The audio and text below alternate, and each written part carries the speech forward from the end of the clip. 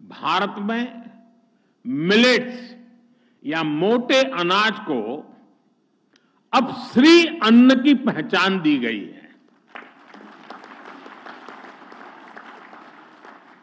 श्री अन्न केवल खेती या खाने तक सीमित नहीं है। जो लोग भारत की परंपराओं से परिचित है वो ये भी जानते हैं कि हमारे यहाँ किसी के आगे श्री ऐसे ही नहीं जुड़ता है। जहाँ श्री होती है, वहाँ समृद्धि भी होती है और समग्रता भी होती है।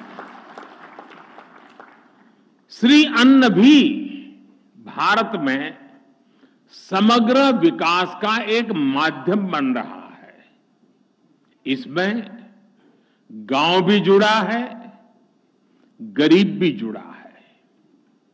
श्री अन्न यानी देश के छोटे किसानों की समृद्धि का द्वार। श्री अन्न यानी देश के करोड़ों लोगों के पोषण का कर्णधार। श्री अन्न यानी देश के आदिवासी समाज का सत्कार। श्री अन्न यानी कम पानी में ज़्यादा फ़सल की पैदावार। श्री अन्न यानी केमिकल मुक्त खेती का बड़ा आधार।